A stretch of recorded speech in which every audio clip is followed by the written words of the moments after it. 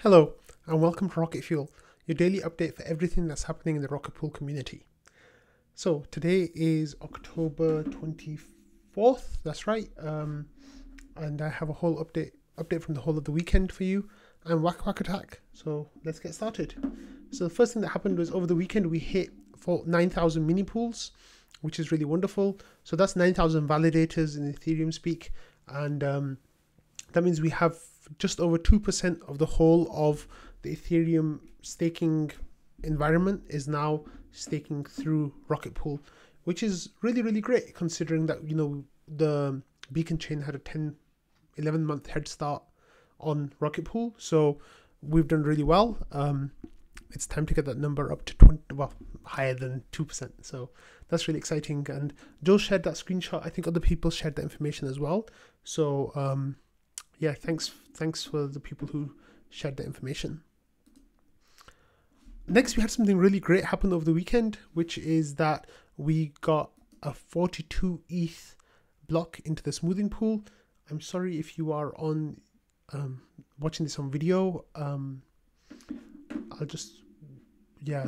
So the 42 ETH block came through, and um, the mini pool, the smoothing pool now has really great amount of ETH in there. I think it's over 190 ETH, and we've still got another couple of days left for the for the period to finish.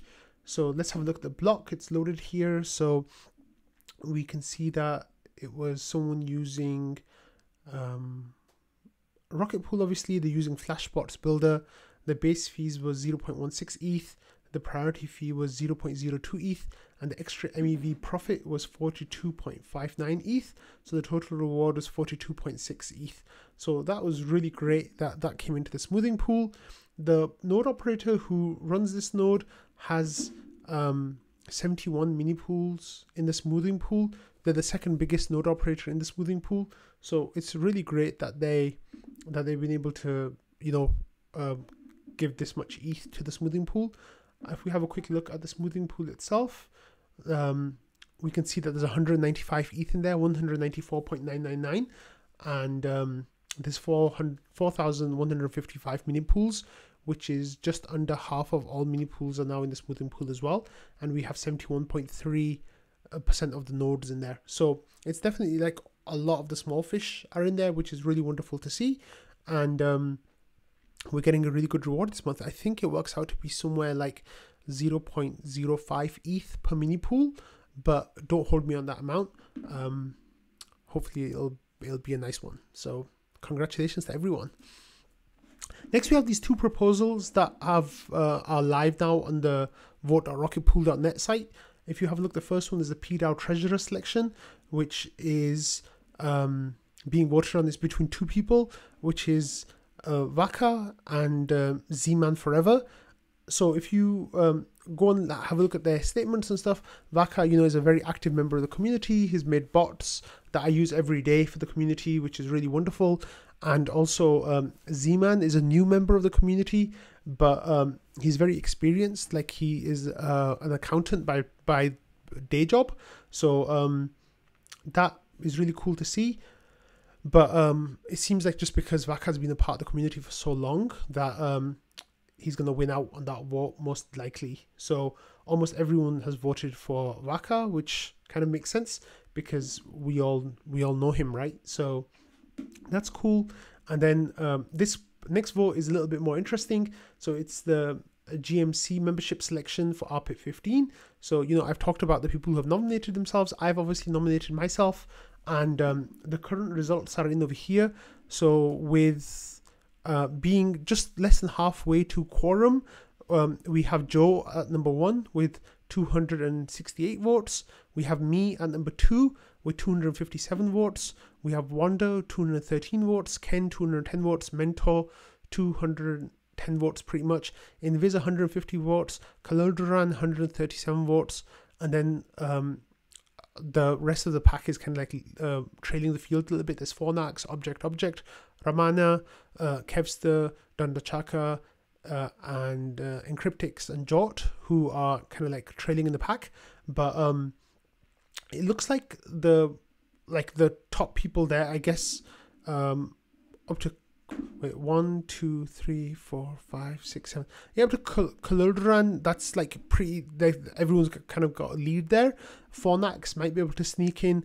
Object, I'm not sure if we'll be able to speak sneak in or not, but anything can change with you know a, a whale voting one way or another.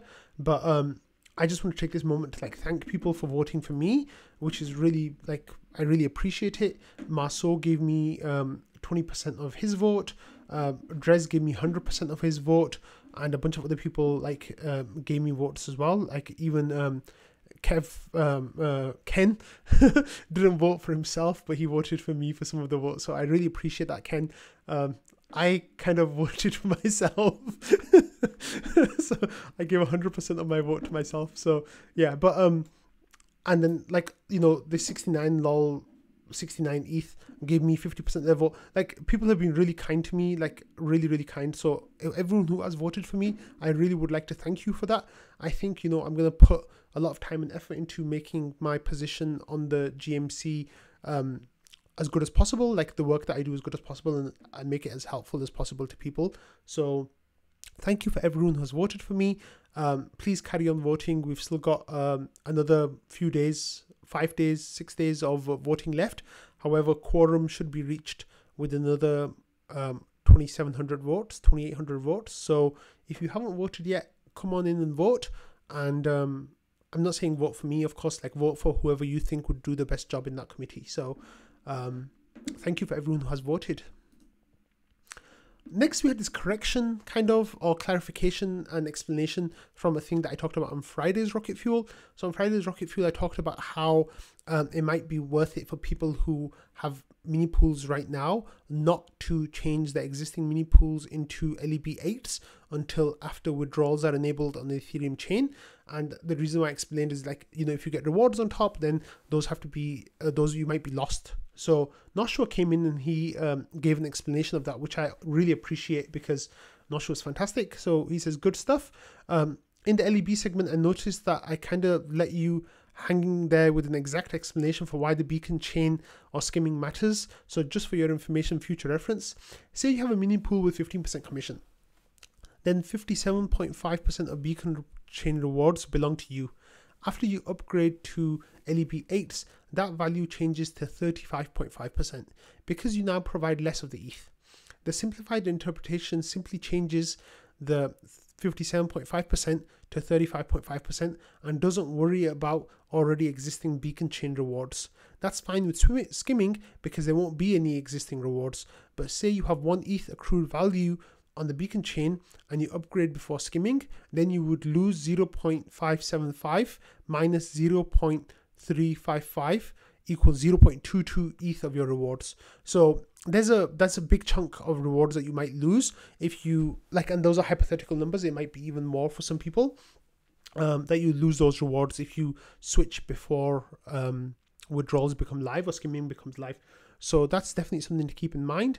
Um, however, once LEBs go live, which will hopefully be before withdrawals go live on the live on the Ethereum chain, once uh, LEBs go live, you can spin up new LEBs without impacting your rewards on your existing mini pools. So that's definitely something to keep in mind. Um, so thank you so much for that, Knoshua. And um, Ken as well says excellent um, illustration and answer. So thank you so much. Next, we had this thing from Peteris who's saying, Did you know that Euler has feeless, feeless flash loans? And then there's some links to um, getting a flash loan for RETH and getting a flash loan for RPL and how much there's available to borrow and how much you can do. And in this is I'm going to exploit all the con- all contracts in existence with those 0.0017 RPL. Uh, so uh, Peteris uh, deposited 10 RPL into there, and he says Euler is permissionless. You can lend, borrow any token that's on Uniswap v3. So it seems like there's some limitations exactly to how it works. Um, and um, Peteris shared this information. He says, How come I can't borrow with an isolated asset? Note that isolated and cross assets cannot be used as collateral. And then Peter, Peteris says, Hmm, what's the point then? And maybe it means someone can deposit DAI, uh, wrapped ETH, etc., and borrow my 10 RPL. So, um, Later on, this was the discussion as well. Marceau came in and he said, Well, we're borrowing lending on Euler for RPL and RETH hmm, I guess it's permissionless. And then um, there were more points being made. Let me see if I can find them about how there's three tiers. Um, yeah, Zero X Zix says is Euler a trustworthy platform, and then we used it. And then um, Tuxcat says Bankless did an episode recently on October 8th about Euler, and um, yeah, here we had uh, Bagogel saying Euler's permissionless and you could borrow, lend RPL and RETH on it, but they have different tiers. So there's isolated, cross, and collateral. So I, RPL and RETH are on the isolated tier at the moment. So this kind of limited on what you can do with those two assets. However, um, Marceau came in and then was saying, yeah, he says we have an active chat with the Euler team. We can push it to get it enabled for collateral borrowing and cross collateral next and then people said nice. So that's definitely something to keep an eye out for and see how it goes. Um, I think um, it might lead to some good stuff uh, if we can get onto the collateral level instead of being the isolated level. And um, next, we have another comment from Marceau and it didn't catch uh, much traction, so there wasn't much to add to it. But the comment itself is really exciting because it kind of brings to attention all the great stuff that's coming in Atlas, or some of the great stuff that's coming in Atlas. So he says, Do we have any kind of summary of expected Atlas stuff? As far as I know, it's LEBs with the new credit system. Um, support for solo staker migration, support for withdrawals, obviously, and Kane, Kane's node deposit um, gas savings. Anything else? And as far as I could tell, nobody really came in and like added anything to that list. Um, yeah, sorry, Valdorff says nope. If someone wants to update that RPIP, they're welcome to. If not, I'll get to it eventually. As of now, the latest shows SAS, etc. So SAS has obviously been like uh, pushed back in favor of getting LEBs done in time. So even with these things, that's some really big changes that are happening across the whole board for um, Rocket Pool. So LEBs obviously will mean that you can um, stake with less ETH. So instead of having 16 ETH to stake, you'll be able to stake with 4 ETH and get 24 ETH from the protocol. Support for Solo Staker conversion, which will mean if you are an existing um, staker on the Ethereum network, once withdrawals go live, then you'll be able to like do like some fancy um, stuff on your node and become a rocket pool operator and then support for withdrawals obviously means that you can withdraw, uh, can like turn off your node, get your uh, money that you're staking, get it out of there, which is really great. And Node uh, Kane's Node Deposit Gas Savings is a code optimization for uh, setting up mini pools that will save about 40% in gas, which is really cool. So yeah, that's all really exciting stuff. Next, we had this comment from ndlz.eth who says to make it easier, let me introduce, and then there's the website is let me actually open the tweet so we can have a look together. Um, it says to make it easier, let me introduce GoRocket.today, a simple website to swap your centralized STETH to decentralized RETH from Rocket Pool and spreads the word to your friends. So what are you waiting for, Anon? GoRocket.today. So there's a website that they spun up, which is kind of a front end um, for um, switching between different um, LSD providers.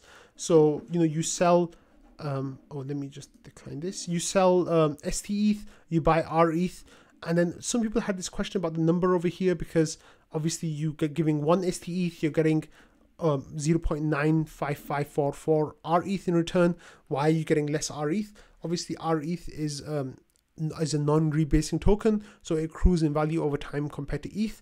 STETH is a rebasing token, so it always maintains one-to-one pegging for um, ETH. So that's where that value comes from. So basically, the website is really simple, but I think uh, NDLZ is like working on some um, optimizations and some like uh, tweaks to make it like a bit better. But um, it's really cool that this kind of thing is uh, like people in the community are kind of taking this on themselves and um, making it easier for people to get into the Rocket Pool community, into the Rocket Pool ecosystem and, and staking with Rocket Pool. So thank you for that.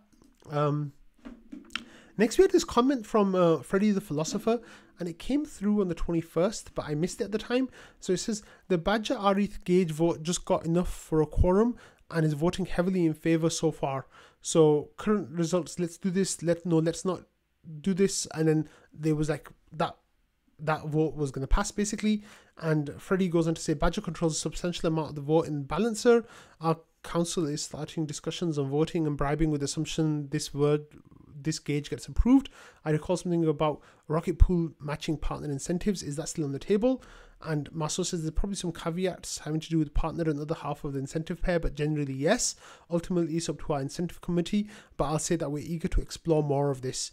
So, Badger, um, we're coming in with some new pairs. So, uh, go back and have a look. It says um, broad DeFi presence gets attention to anybody that's interested in yield. The other side is liquidity providing, uh, liquidity providings marketing, to the community on the other side. The Badger Gauge request above is a great example. They're members of both our communities and with Badger, uh, who are fam- not familiar with the other DAO. Rocket Pool gained exposure in the community simply by having the gauge requested. Then it becomes the social network, friends of friends, etc. Our first real exposure, depth of understanding of Rocket Pool came from Marceau, the podcast he did with Bankless, great stuff. More of that will go a long ways. Uh, that led to my outreach and subsequently this gauge request. It's all connected. So it's really great that, you know, the our community is working so well and getting the word about Rocket Pool out there and getting um, people aware of what we're doing. And because of that, we're getting all these great integrations. So um, Badger will be setting up um, liquidity pools where they, uh, I think, have the Badger token and RETH and it just makes sense for people who are providing liquidity on uh, Badger ETH or Wrapped ETH to change that to RETH because they'll be able to get rewards in their idle ETH. So staking rewards in the idle ETH. So that's really great that you know we're getting all these um, integrations are still happening and they're still going full steam ahead, even though it's a bear market. Like it's really great to see all that.